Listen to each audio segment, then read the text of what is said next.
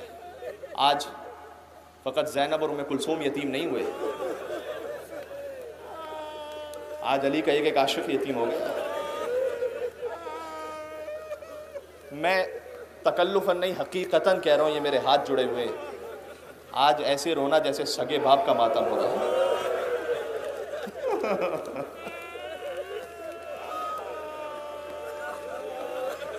علی کا سر اتنا زخمی تھا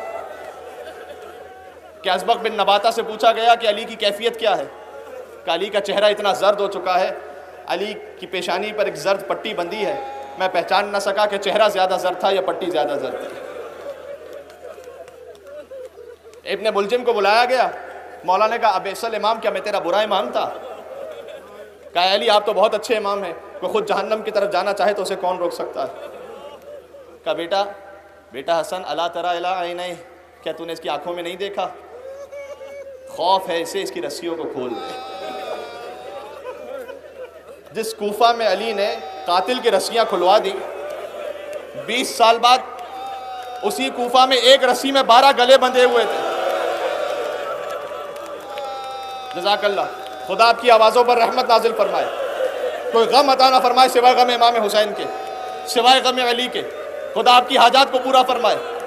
یہ میری اپنی دعائیں نہیں ہیں یہ جب چھٹے امام سجدے میں جاتے تھے تو دعا کرتے تھے۔ اور ہم سر خط کانت لنا۔ پروردگار، تو ان آوازوں پر رحم فرما۔ جو مصائب سن کر ہمارے نام پر بلند ہوتی ہیں۔ جزاک اللہ۔ کچھ دیر بعد طبیب نے کہا، اے مولا حسن، آپ کے بابا کو اگر دودھ پلایا جائے تو زخم میں کچھ افاقہ ہو سکتا ہے۔ امام حسن گھر سے باہر، بیت الشرف سے باہر تشریف لائے۔ دیکھا کچھ ہی دیر میں کوفہ کے چھوٹے چھوٹے یتیم بچے اپنے ہاتھوں میں دودھ کا جام لیے کھڑے تھے اور کہہ رہے تھے کہ اے مولا، آپ کے بابا نے ساری زندگی ہمیں پالا ہے۔ آج ہم اپنے حصے کا دودھ لے کر علی کے پاس آئے ہیں۔ کوفہ کے یتیم فخر سے کہتے تھے، ہمیں یتیم نہ کہو، ہمارا بابا علی ہے۔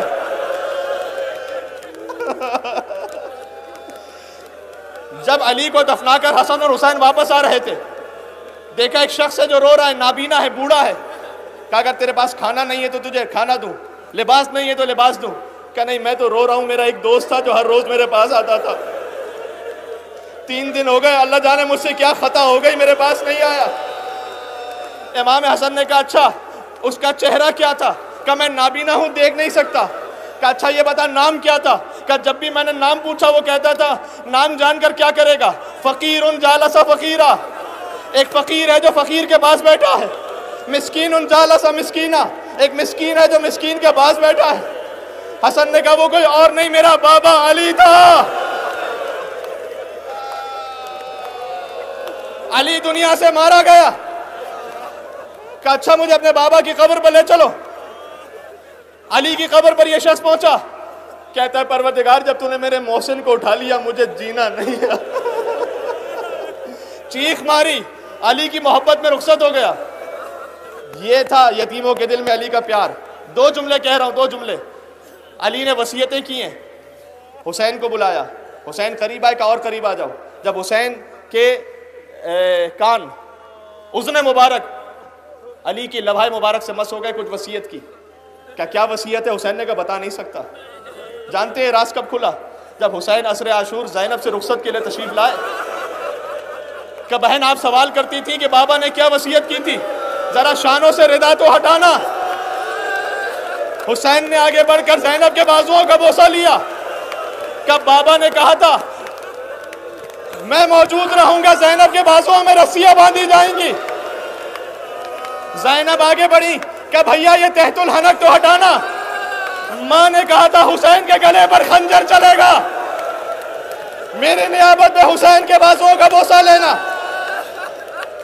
آخری جملہ۔ ایک زینب کو وس... ایک حسین کو وصیت کی۔ ایک زینب کو بھی وصیت کی۔ جب بی بی زینب کربلا سے کوفہ پہنچی، کوفہ سے شام کے دربار میں، یزید کے دربار میں دروازے کے باہر بیٹھ گئی سیدہ سجاد نے کہا بوبی اماں آگے کیوں نہیں جاتی؟ کہ بابا کا آخری وقت تھا، بابا نے کہا تھا بیٹی، تجھے شرابی کے دربار میں جانا ہوگا۔ میں نے کہا تھا، بابا، آپ مشکل کشا ہو، کیا میری مدد کو آؤ گے؟ بابا نے وعدہ کیا تھا، میں تیری مدد کو آؤں گا۔ اے سجاد میں اپنے بابا کا انتظار کر رہی ہوں۔ یہ کہہ کر زینب اٹھی کہ سجاد، میرا بابا آ گیا۔ السلام علیکم یا امیر المومنین۔ آخری جملہ۔ علی دنیا سے رخصت ہوئے۔ وسیعت کی تھی، میرا تابوت پیچھے سے اٹھانا حسن اور حسین نے اٹھایا، کہ آگے سے کوئی نہ اٹھائے۔ علماء کہتے ہیں کہ جبرائیل اور میکائیل نے علی کا تابوت اٹھایا۔ نہیں، ایک اور جملہ سن لو۔ دیکھیں، جنازوں کی رونق تو بیٹیوں سے ہوتی ہے نا۔ علی کے جنازے پر زینب بھی رو رہی تھی، ام کلثوم بھی رو رہی تھی۔ لیکن تاریخ میں دو جنازے ایسے ہیں جن کی بیٹیوں کو جنازے پر رونے نہ دیا گیا۔ ایک مصطفیٰ کا جنازہ تھا۔ فاطمہ روتی تھی۔ مدینہ والے کہتے تھے، اے علی، اپنی زوجہ سے کہو یا دن میں روئے یا رات میں روئے اور سن سکو، ماتم کر سکو۔ تو یہ جملہ سنو، ایک حسین کا لاشا تھا۔ سکینہ روتی تھی تو تماچے لگتے تھے، تازیانے لگتے تھے۔ زینب علی کے لاشے پر تھی حسن نے جدا کیا، سکینہ حسین کے لاشے پر تھی شمر نے جدا کیا۔ علی کا تابوت چلا، ہر درخت نے جھک کر کہا السلام علیکم امیر المومنین دیوار نے جھک کر سلام کیا۔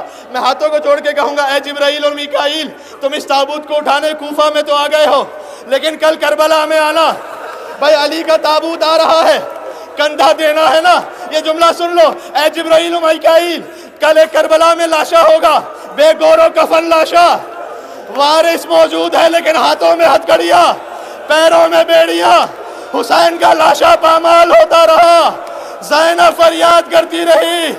اے نانا، اپنے سینے پر حسین کو سلانے والے، آج تیرا حسین ہے گوڑوں کی ڈابوں تلے پامال۔ یا حیدر کرار۔ یا حیدر کرار۔